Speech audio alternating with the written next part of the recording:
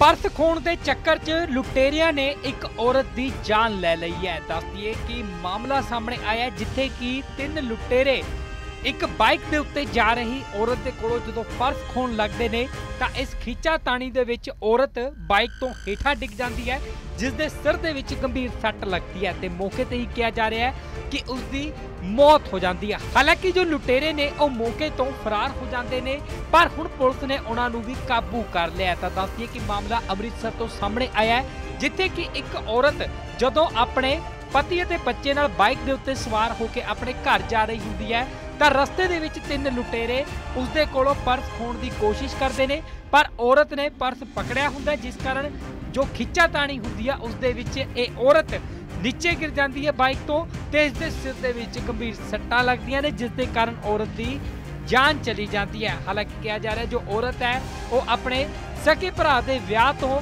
ਘਰ ਵਾਪਸੀ ਕਰ ਰਹੀ ਸੀ ਤੇ ਰਸਤੇ ਦੇ ਵਿੱਚ ਇਹ ਸਾਰਾ ਹਾਦਸਾ ਵਾਪਰ ਜਾਂਦਾ ਹੈ। ਤਾਂ ਦੱਸਦੀਏ ਕਿ ਪਰਸ ਖੋਣ ਦੇ ਚੱਕਰ ਦੇ ਵਿੱਚ ਲੁਟੇਰਿਆਂ ਨੇ ਇੱਕ ਔਰਤ ਦੀ ਜਾਨ ਲੈ ਲਈ ਹੈ ਤੇ ਹੁਣ ਪੁਲਿਸ ਨੇ ਉਹਨਾਂ ਨੂੰ ਕਾਬੂ ਕੀਤਾ ਹੈ। ਇਹ ਥਾਣਾ ਸ਼ਾਖਾ ਦੇ ਏਰੀਆ ਦੇ ਵਿੱਚ ਇੱਕ ਬੜਾ ਸੈਂਸੇਸ਼ਨਲ ਕ੍ਰਾਈਮ ਹੋਇਆ ਸੀ, ਜਿਸ ਨੂੰ ਸਾਡੀ ਪੁਲਿਸ ਪਾਰਟੀ, ਪੁਲਿਸ ਟੀਮ ਨੇ ਟ੍ਰੇਸ ਕਰਨ ਵਿੱਚ ਕਾਮਯਾਬੀ ਹਾਸਲ ਕੀਤੀ ਹੈ। ਇਹ ਇੱਕ ਔਰਤ ਮਨਦੀਪ ਕੌਰ ਆਪਣੇ ਪਤੀ ਦੇ ਨਾਲ ਮਿਤੀ 15/11/23 ਨੂੰ ਆਪਣੇ ਸਕੇ ਭਰਾ ਦੀ ਮੈਰਿਜ ਤੋਂ ਬਾਅਦ ਆਪਣੇ 8 ਸਾਲ ਦੇ ਬੱਚੇ ਨੂੰ ਲੈ ਕੇ ਔਰ ਮੋਟਰਸਾਈਕਲ ਤੇ ਥਾਣਾ ਸ਼ਾਹਟੇ ਦੇ ਏਰੀਏ ਦੇ ਵਿੱਚ ਆ ਰਹੀ ਸੀਗੀ। ਤੋ ਉਹਦੇ ਉਸ ਦਿਨ 15/11 ਨੂੰ ਤਿੰਨ ਅਣਪਛਾਤੇ ਦੋਸ਼ੀਆਂ ਨੇ ਇਸ ਇਹਦੀ ਖੋਹ ਕਰਨ ਦੀ ਨੀਅਤ ਨਾਲ ਇਹਦਾ ਪਰਸ ਖੋਹਣ ਦੀ ਕੋਸ਼ਿਸ਼ ਕੀਤੀ ਔਰ ਇਹ ਔਰਤ ਉਸੇ ਵੇਲੇ ਪਰਸ ਖੋਹਣ ਦੇ ਨਾਲ ਮੋਟਰਸਾਈਕਲ ਤੋਂ ਡਿੱਗ ਪਈ ਔਰ ਇਹਦੀ ਕਰੀਬ 1 ਘੰਟੇ, ਡੇਢ ਘੰਟੇ ਬਾਅਦ ਉਹ ਡਿੱਗਣ ਨਾਲ ਸਿਰ ਵਿੱਚ ਸੱਟ ਲੱਗਣ ਨਾਲ ਮੌਤ ਹੋ ਗਈ।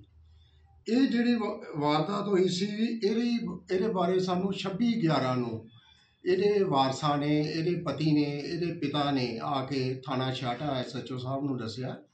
ਔਰ ਮੇਰੇ ਵੱਲੋਂ ਮਾਨਯੋਗ ਸੀਪੀ ਸਾਹਿਬ ਅੰਮ੍ਰਿਤਸਰ ਦੇ ਧਿਆਨ ਵਿੱਚ ਇਹ ਮਾਮਲਾ ਲਿਆਂਦਾ ਗਿਆ।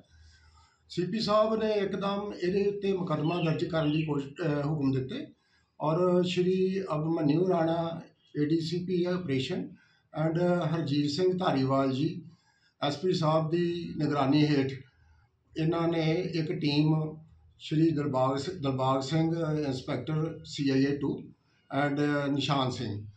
ਇਹਦੇ ਨਾਲ ਘਨੂਪੁਰ ਕਾਲੇ ਚੌਕੀ ਇੰਚਾਰਜ ਔਰ ਮੇਰੇ ਸਮੇਤ ਇੱਕ ਟੀਮ ਦਾ ਗਠਨ ਕੀਤਾ ਔਰ ਜਿਵੇਂ ਕਿ ਹਰੇਕ ਦੋਸ਼ੀ ਜੁਰਮ ਕਰਨ ਤੋਂ ਬਾਅਦ ਕੋਈ ਨਾ ਕੋਈ ਇਸ ਤਰ੍ਹਾਂ ਦਾ ਸਬੂਤ ਛੱਡ ਦਿੰਦਾ ਆ ਜਿਹੜਾ ਉਹ ਸਾਡੇ ਕੰਮ ਦਾ ਹੁੰਦਾ ਹੈ ਤੋ 26 11 ਨੂੰ ਐਫ ਆਈ ਆਰ ਦਰਜ ਕਰਨ ਤੇ ਬਾਅਦ ਸਾਡੇ ਹੱਥ ਇੱਕ ਇਸ ਤਰ੍ਹਾਂ ਦਾ ਟਿਪ, ਇੱਕ ਕਲਿਊ ਆਇਆ, ਜਿਹਦੇ ਤੇ ਇੱਕਦਮ ਸਾਡੀ ਜਿਹੜੀ ਇਹ ਟੀਮ ਹੈ ਸਰਗਰਮ ਹੋ ਗਈ ਔਰ ਉਸ ਕਲਿਊ ਦਾ ਪਿੱਛਾ ਕਰਦੇ ਹੋਏ ਅਸੀਂ ਤਿੰਨ ਦੋਸ਼ੀ ਜੋ ਇਸ ਵਾਰਦਾਤ ਲਈ ਨਾਮਜ਼ਦ ਕੀਤੇ ਔਰ ਜਿਨ੍ਹਾਂ ਨੂੰ ਗ੍ਰਿਫਤਾਰ ਕੀਤਾ, ਜਿਨ੍ਹਾਂ ਨੇ ਘਟਨਾ ਕੀਤੀ, ਉਹਨਾਂ ਵਿੱਚ ਇੱਕ ਹਰਮਨ ਸਿੰਘ, ਨੰਬਰ 2 ਸੁਖਦੀਪ ਸਿੰਘ, ਐਂਡ ਤਰਸਪ੍ਰੀਤ ਸਿੰਘ। ਇਹਨਾਂ ਨੂੰ ਗ੍ਰਿਫਤਾਰ ਕੀਤਾ ਔਰ ਇਹਨਾਂ ਤੋਂ ਵਾਰਦਾਤ ਵਿੱਚ ਵਰਤਿਆ ਗਿਆ ਮੋਟਰਸਾਈਕਲ ਉਸ ਮ੍ਰਿਤਕ ਔਰਤ ਦਾ ਮੋਬਾਈਲ ਅਤੇ ਉਹਦਾ ਪਰਸ ਬਰਾਮਦ ਕੀਤਾ। ਔਰ ਅਸੀਂ ਇਹਨਾਂ ਨੂੰ ਕੋਰਟ 'ਚ ਪੇਸ਼ ਕਰਕੇ 2 ਦਿਨ ਦਾ ਪੁਲਿਸ ਰਿਮਾਂਡ ਲਿਆ। ਸਾਨੂੰ ਆਸ ਹੈ ਕਿ ਅਸੀਂ ਹੋਰ ਵੀ ਵਾਰਦਾਤਾਂ ਟਰੇਸ ਕਰ ਪਾਵਾਂਗੇ। ਸਰ ਪਹਿਲੇ ਮਾਮਲੇ ਕਿੰਨੇ ਸਰ? ਇਹਨਾਂ ਦੇ ਪਹਿਲਾ ਮਾਮਲਾ ਅਜੇ ਕੋਈ ਦਰਜ ਨਹੀਂ ਹੈਗਾ। ਉਹਨਾਂ ਦਾ ਵੇਖਿਆ ਹੈਗਾ ਰਿਕਾਰਡ। ਪਰ ਇਹਨਾਂ ਦਾ ਅੱਗੇ ਪਤਾ ਲੱਗ ਲੱਗੇਗਾ ਰਿਮਾਂਡ ਦੇ ਦੌਰਾਨ। ਕਿ ਇਹਨਾਂ ਨੇ ਕੋਈ ਹੋਰ ਵਾਰਦਾਤਾਂ ਕੀਤੀਆਂ ਨੇ। ਜੇਕਰ ਕੋਈ ਹੋਰ ਵਾਰਦਾਤ ਕੀਤੀ ਹੋਏਗੀ ਤੇ ਕਾਨੂੰਨ ਮੁਤਾਬਕ ਅਸੀਂ ਕੇਸ ਰਜਿਸਟਰ ਕਰਾਂਗੇ।